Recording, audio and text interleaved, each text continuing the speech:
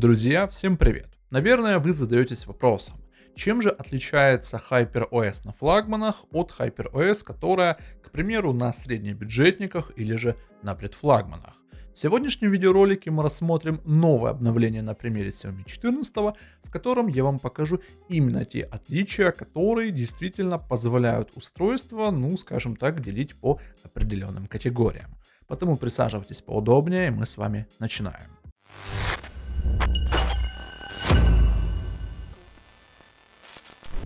Как я уже в начале данного видеоролика сказал, мы с вами работаем с аппаратом Xiaomi 14.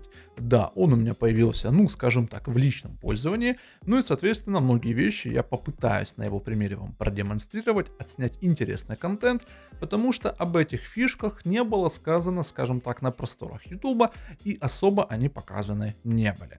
Значит, прошивка у меня самая актуальная, которая есть на это устройство 1.0.11.0. По списку изменений тут в принципе все как и всегда, очень пресно и а, какой-то конкретики мы тут с вами не наблюдаем. Но как только мы с вами выходим из этого раздела, сразу понимаем, что это устройство может нести в себе очень много интересных функций. Но перед тем, как мы перейдем к функциям, я хотел бы еще остановиться на таком моменте, как размер системы. На презентации компания Xiaomi заверяла, что вот, к примеру, взяв тот же флагман Xiaomi 14 или же Xiaomi 14 Ultra, вес прошивки на этих устройствах будет меньше 10 гигов. И действительно это так, разработчики не обманули. То есть 9.53 это то, с чем мы с вами можем работать. Но теперь погнали по всем этим изменениям. С относительно недавнего времени компания добавляет раздел взаимосвязанности. Это возможность, позволяющая объединять между собой очень много устройств компании Xiaomi, ну и в частности объединение смартфона, планшета, а также смарт-часов. У меня, получается, есть для всей этой уже истории планшет-смартфон, для того, чтобы их взаимосвязывать, и не хватает еще смарт-часов, каких-нибудь с HyperOS. Но, возможно, в будущем я этот моментик устраню и также что-нибудь интересное попробую для вас придумать. Но вот какая незадача, Xiaomi 14 не хочет адекватно коннектиться с Pad 6. Возможно, это у меня такая проблема, потому как э, тот же Pad 6 и Xiaomi 13T без проблем соединялись, и я мог изображение с смартфона отправлять на планшет. Тут, к сожалению, я такого сделать не могу. Мы с вами следуем далее. Получается, в разделе уведомлений строка состояния появляется перевод и, конечно же, Xiaomi Smart Hub. Первая прошивка, которая шла на это устройство из коробки, там этого не было, потом обновился Xiaomi 14 до 1.0.6.0, там уже появляется Smart Hub, но он также полноценно не работал. Об этом я, кстати, рассказывал в видео по распаковке этого устройства. Итак вот, мы обновляемся уже полноценно на все эти прошивки и получаем, конечно же, Xiaomi Smart Hub. И он выглядит у нас следующим образом. Но помимо того, что у нас с вами есть Mi Smart Hub, мы с вами еще можем получить Xiaomi Hypermind. И вы можете можете наблюдать, вот здесь вверху он у нас именуется. Я, к примеру, на него только что нажал, и дальше нам что показано, что изучение шаблонов поведения. То есть, чем больше мы взаимодействуем из этого Xiaomi Smart Hub со своими устройствами, и тем в будущем нам этот Hypermind будет подсказывать, что нам нужно активировать, или же, возможно, он сам за нас будет выполнять активацию каких-то умных устройств. По правде говоря, это очень сильное заявление для глобального рынка, и я с этой историей буду еще разбираться, и также у меня еще в планах есть выпустить отдельное видео, в котором я расскажу о тех фишках, о которых вы не найдете информации в YouTube по-нормальному, ну и я вот постараюсь это как бы для вас все отснять. И вот получается у нас данная фича действительно очень удобна. Допустим, вот если нажмем на освещение, мы можем с помощью одной клавиши просто отрубить все в округе. Ну, с одной стороны, да, прикольно, но опять же, у кого есть умный дом, тот это все поймет и действительно осознает, насколько это удобно и круто. Что же касается вопроса по быстродействию, оптимизации устройства, ну, мы с вами, наверное, этот момент упустим, потому что, ну, Xiaomi 14 флагман, ну, как бы я не вижу смысла на этом останавливаться и что-либо говорить.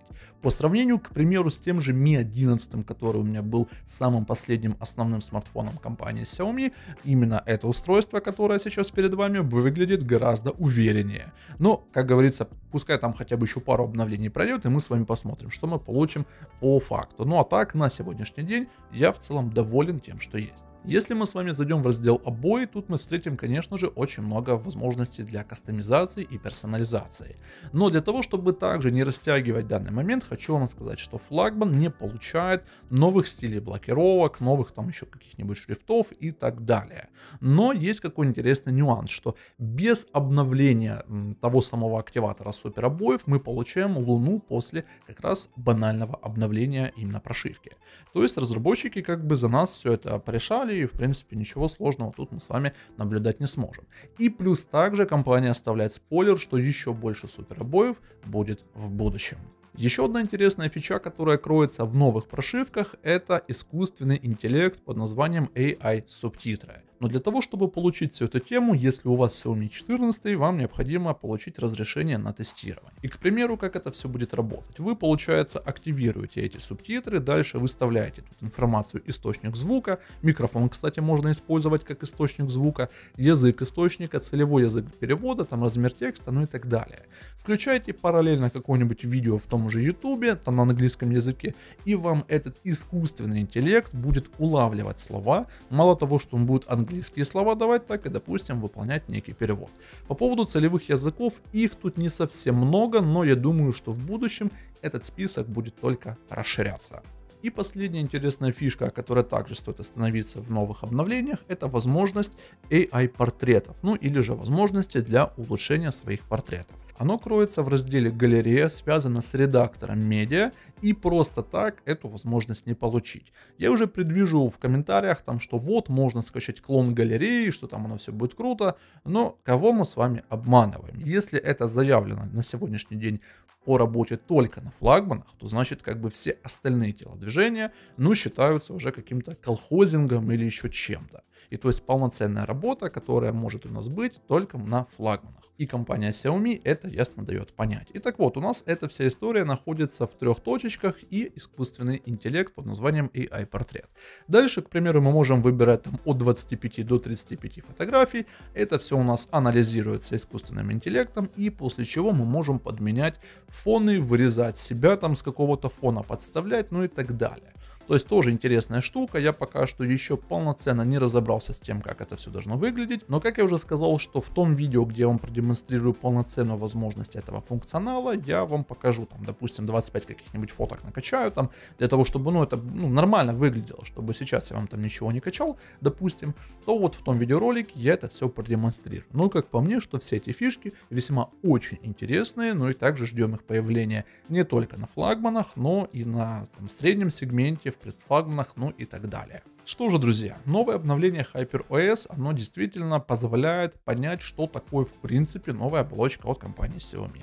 Да, пока что только на примере флагманах все самое вкусное и интересное мы можем получить, но опять же, в зависимости от того, какая у них стратегия по развитию всех этих фишек, какая стратегия по развитию HyperOS на глобальном рынке, мы с вами будем понимать, какие устройства получат ту или иную функцию. Но как по мне, самое интересное из сегодняшнего видеоролика это, конечно же, субтитры от искусственного интеллекта, это улучшение портрета с помощью искусственного интеллекта, ну и другие фишки, которые также связаны с HyperMind и с режимом взаимодействия действия. И плюс я вам еще в том видеоролике, в котором все такие фишки интересные соберу, продемонстрирую, как работает режим режиссер, когда у нас взаимодействует смартфон и планшет. Так что не забудьте подписаться на мой канал, поставить колокольчик, чтобы не пропускать уведомления о новых видео на канале. Ну а на этом у меня на сегодня все. Спасибо за внимание и до новых встреч. thank you